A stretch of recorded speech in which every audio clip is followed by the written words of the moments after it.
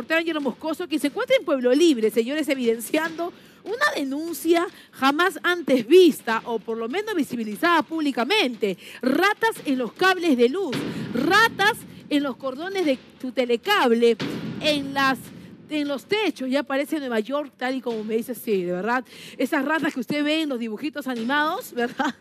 Literalmente, qué, qué, qué desgracia. Vamos a verlo. Miren ustedes. Miren ustedes. Ratas, señor. Esto es increíble. Miren, miren ustedes, señores. Esto sucede en otros países. En Nueva York, por ejemplo, las ratas salen, se pasean, caminan del lado de las personas en Nueva York. ¿ah? Y ya el Perú, sobre todo el distrito de Pueblo Libre, está casi a la par, porque las ratas caminan por todos lados y hasta el momento nada se puede hacer. Si en caso no se encuentra el nido la madriguera para hacer la fumigación correspondiente.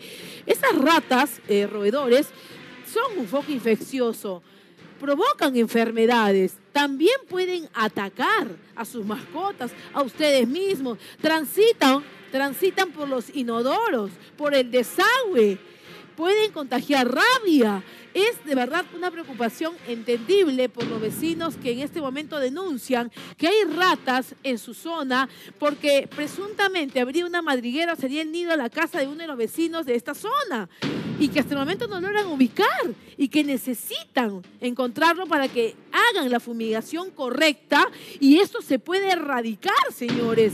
Pero las imágenes que ven ustedes es de otros países, de Nueva York exactamente, donde las ratas caminan, ¿verdad? Y, bajo estadísticas, lo que se ha dado como estadísticas es que, imagínense usted, mira las estadísticas, escuche, no, me lo, no va a creerlo, que hay una rata por persona, o sea, 8 millones de ratas en Nueva York. Y Pueblo Libre recién estaría empezando con una presunta madriguera en algún punto de, de, del distrito de Pueblo Libre.